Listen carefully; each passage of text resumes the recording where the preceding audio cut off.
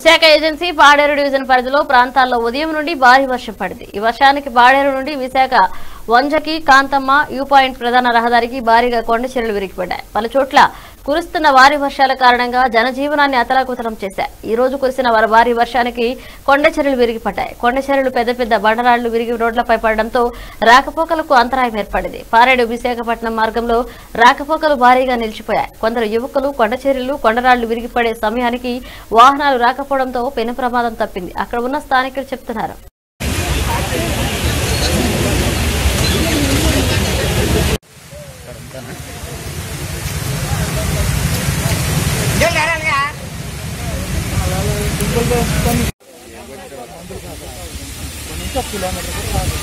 అలా అయితే చాలా లోపల వచ్చేసా ఏదైనా భద్రాడుకుని ఎవరైనా భద్ర